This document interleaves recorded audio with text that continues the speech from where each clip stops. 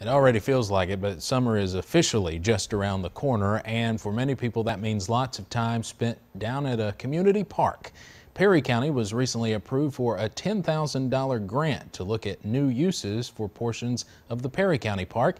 As WYMT's Matthew Rand reports, county leaders say they hope to make the park an even better place to be outside. The Perry County Park boasts a variety of family friendly ways to have fun in the sun.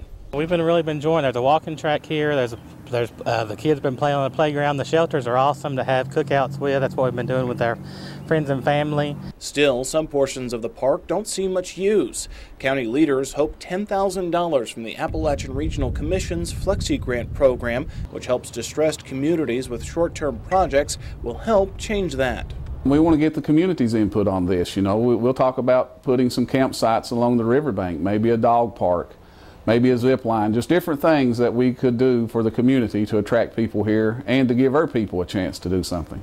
To be clear, the money won't pay for any building projects just yet, but a new attraction is on the way. The park will soon offer canoe and kayak rentals for a float down the North Fork of the Kentucky River, a waterway leaders say is one of the community's best kept secrets the fishing there is unbelievable. I mean, I, I just keep waiting for someone to catch a record muskie or a record smallmouth bass and just put us on the map with the fishing that we have here.